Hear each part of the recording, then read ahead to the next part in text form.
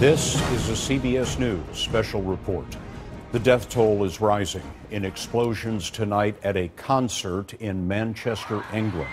The police are now reporting that at least 19 people have been killed, about 50 others are wounded. The police say they are treating this as a terrorist incident unless they can rule that out. Witnesses tell British Broadcasting that panic broke out as the concert goers tried to escape. The explosion happened about three hours ago at a concert where the pop singer Ariana Grande was performing. We're told she was not injured.